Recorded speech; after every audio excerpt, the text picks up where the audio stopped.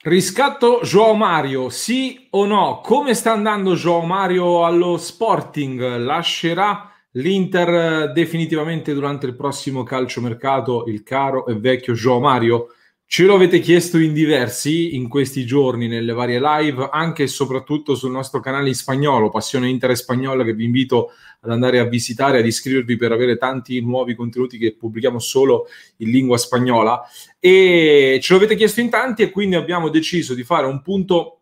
della situazione su questo calciatore che ve lo anticipo subito, va tenuto d'occhio perché eh, consideriamo che l'Inter avrà bisogno di fare delle plusvalenze per poter uh, sistemare i bilanci ed evitare di vendere dei calciatori importanti in rosa. Joao Mario può diventare un'opportunità dal punto di vista tecnico ed economico e alla fine del video vi propongo anche un'ipotesi molto suggestiva da tenere d'occhio eh, ve la anticipo e poi la terremo sotto osservazione in queste settimane perché secondo me quando il mercato comincerà a decollare tra pochissimi giorni, ne sentiremo parlare. Prima di partire, però, permettetemi di ringraziare il nostro Alessandro Costato, uno dei nostri abbonati, sostenitori del canale di Passione Inter e del nostro progetto. E vi ricordo che se anche voi volete sostenere Passione Inter, eh, partecipare alle nostre dirette, alle nostre chat esclusive, a tanti nuovi contenuti, potete sostenerci, potete entrare nel nostro club su patreon.com slash passioneinter oppure su YouTube, tasto abbonati qui sotto oppure link in descrizione. Come sta andando Joao Mario? Quindi, e perché questa volta per l'Inter potrebbe diventare un'opportunità? L'Inter potrebbe venderlo a titolo definitivo dopo una serie di prestiti. Innanzitutto va detto che eh, Joao Mario comunque non ha sfigurato nelle sue varie avventure in prestito, quindi quello che è il brutto ricordo che abbiamo in Italia in orbita Inter alle- all'estero è un po' ridimensionato, anzi tra West Ham, Lokomotiv Mosca e poi adesso lo Sporting Club, eh, la squadra dove è cresciuto tra l'altro, dove è esploso prima di arrivare all'Inter, non ha fatto male, anzi Uh, a livello internazionale mantiene quindi un certo, un certo appeal grazie anche all'entourage che riesce comunque a muoverlo, diciamo, e quindi questo per l'Inter è eh, sicuramente un bene. Allo Sporting, tra l'altro, sta per vivere una stagione storica. E, mh, è passato in prestito allo, alla fine, proprio alla fine dello scorso mercato, il 6 ottobre, si è trasferito in prestito secco nella formazione lusitana. È arrivato tardi, quindi con la stagione già parzialmente iniziata, comunque già avviata, nonostante questo è diventato praticamente subito un titolare di fatto, perché fin qui ha collezionato 31 presenze, due gol ed un assist in campionato, più un altro assist in Coppa di Lega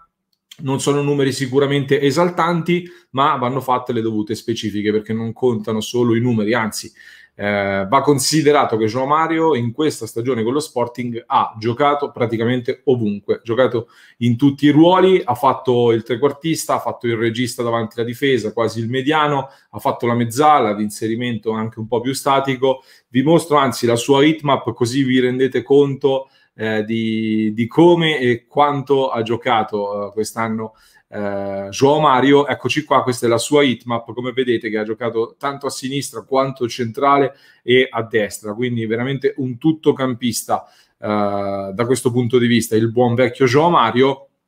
E Uh, bisogna anche dire che ha giocato in più ruoli e lo ha fatto comunque bene, perché anche a livello di rating, cioè di rendimento comunque ha vissuto una buona stagione, al di là del numero di assist, quindi eh, ha avuto una buona, buona stagione e eh, vi mostro a tal proposito anche il rendimento del sito WhoScored che analizza tan- una serie di, di, dati molto molto profonda e eh, come rating per la squadra, questo un po' sono i suoi numeri, passaggi Uh, precisione dei passaggi 88%, duelli aerei ha giocato 1788 minuti, in realtà dovrebbero essere qualcuno in più, sì, 22 più 3, eh, ha giocato qualcosina in più, eh, ma anzi volevo mostrarvi a livello di rating di squadra, la grafica corretta è uh, questa qua, nello Sporting, Joao Mario si, piazza, si piazza al decimo posto nel, nello Sporting come rendimento complessivo, quindi eh, meglio di lui soprattutto il Pedro Gonsalves e anche Sebastian Coates, ma eh, Joao Mario quindi si piazza al decimo posto con un rating di 6.92 che è un buon risultato, sicuramente eh, molto molto positivo, quindi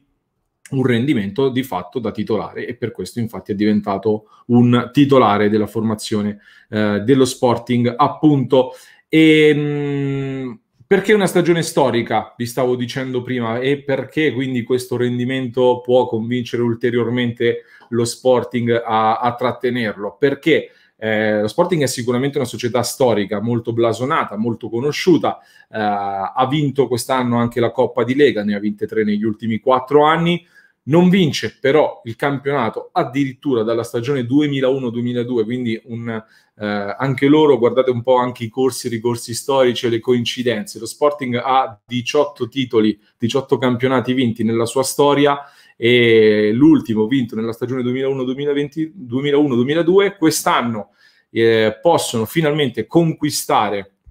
il diciannovesimo titolo perché nel momento in cui sto registrando questo video, stasera tra poche ore giocheranno un'altra partita, ma in questo preciso istante lo Sporting è primo in classifica a sei giornate, anzi a, sì, a sei giornate eh, dalla fine del campionato, visto che si deve ancora giocare la sfida contro il Rio Ave di stasera, e ha sei punti di vantaggio sulla seconda in classifica. Quindi vedremo come andrà la partita di stasera però sono veramente vicini, piuttosto vicini ad un traguardo storico e dal diciannovesimo titolo che sarebbe un po' come l'Inter in Italia che pure arrivava da un digiuno molto lungo, non così lungo ma comunque molto lungo. Questo traguardo storico vale anche il ritorno in Champions League dove tra l'altro lo Sporting non gioca eh, dal 2018, quindi sarebbe un trionfo per lo Sporting dal punto di vista sicuramente tecnico, innanzitutto e sportivo, ma anche e forse soprattutto economico perché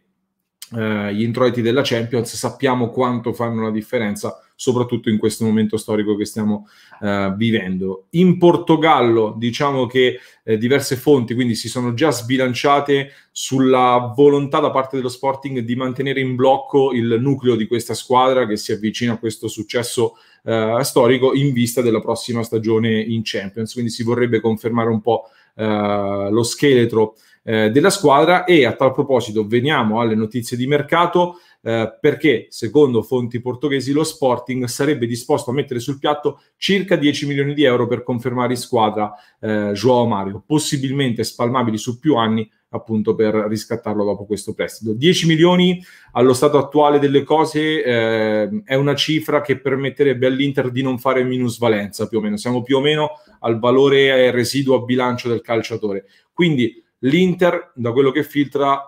potrebbe anche accettare, sarebbe molto tentata da accettare, anche se non fa una grossa plusvalenza e, e forse perché soprattutto la cosa più importante in questa cessione sarebbe uno, liberarsi di un esubero, chiaramente un calciatore che non rientra più nei piani dell'Inter, ma due, soprattutto liberarsi di un ingaggio importante. Questo sarà uno dei principali obiettivi di questo mercato dell'Inter, tagliare questi rami secchi e soprattutto ridurre il monto ingaggi, soprattutto se il calciatore non rientra nei piani. E eh, João Mario prende, guadagna attorno ai 2,7 milioni di euro netti a stagione, che sono tanti soldi per un giocatore che non rientra più nei piani. Lo Sporting, secondo indiscrezioni, pagherebbe di questi 2,7 milioni un solo milione, il resto è a carico dell'Inter, quindi capite bene che liberarsi del calciatore sarebbe veramente un affare.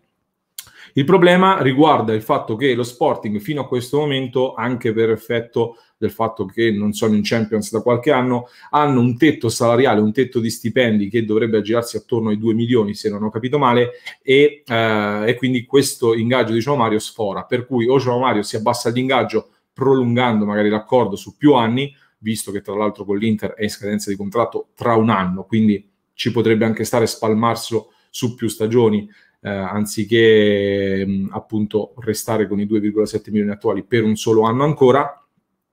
E, eh, oppure si va a ricorrere diciamo a qualche formula creativa però mi sembra difficile perché bisognerebbe passare per un rinnovo di contratto con l'Inter, cioè non si può fare un prestito con obbligo di riscatto tra un anno se Joao Mario è in scadenza di contratto nel 2022. Diciamo che comunque al momento, da quello che filtra soprattutto da fonti portoghesi e da colleghi portoghesi, e abbiamo anche sentito, eh, sembrano esserci buone possibilità affinché Joao Mario resti allo Sporting, eh, soprattutto se lo Sporting dovesse vincere il campionato e tornare in Champions, eh, però c'è un piccolo rischio anche aggiuntivo, cioè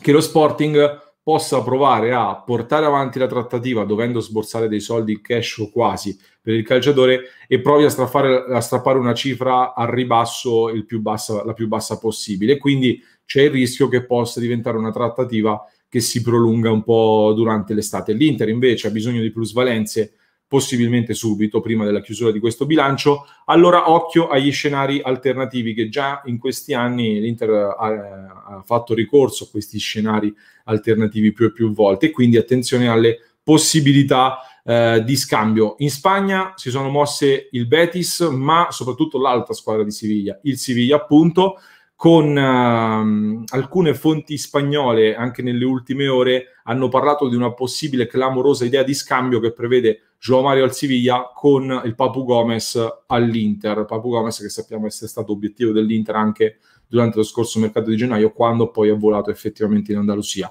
Sta facendo bene al Siviglia,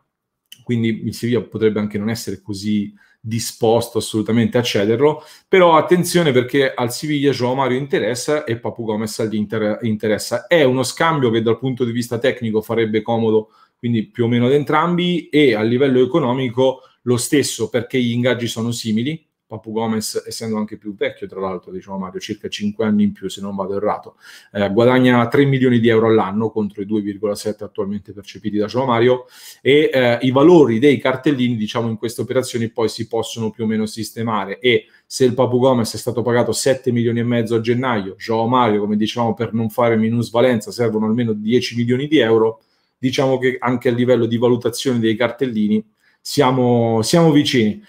A proposito di scambi, però, arriviamo alla suggestione che vi avevo anticipato all'inizio del video, arriviamo all'ipotesi uh, da tenere d'occhio. Non è, un, non è, una notizia, almeno per il momento, è un'ipotesi, quindi da tenere sotto osservazione e riguarda la notizia del momento, ovvero il ritorno di Murigno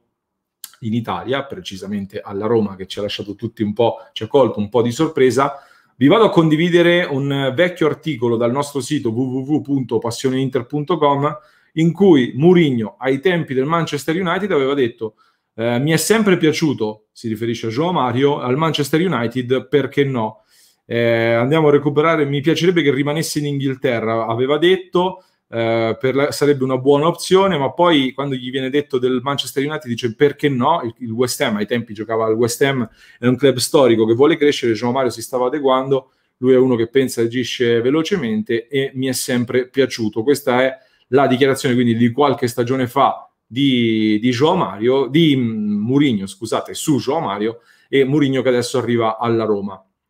ai tempi l'ipotesi di Joao Mario in casa Manchester United era stata valutata per sostituire Mkhitaryan. Mkhitaryan adesso può lasciare la Roma a tutti gli effetti, ci sono voci molto calde su una partenza dell'armeno e quindi chissà che qual- con qualche anno di distanza non possa concretizzarsi questo matrimonio tra Mourinho e Joao Mario e, e chissà appunto che non possa concretizzarsi uno scambio. Questa è l'ipotesi, la suggestione che vi invito a tenere d'occhio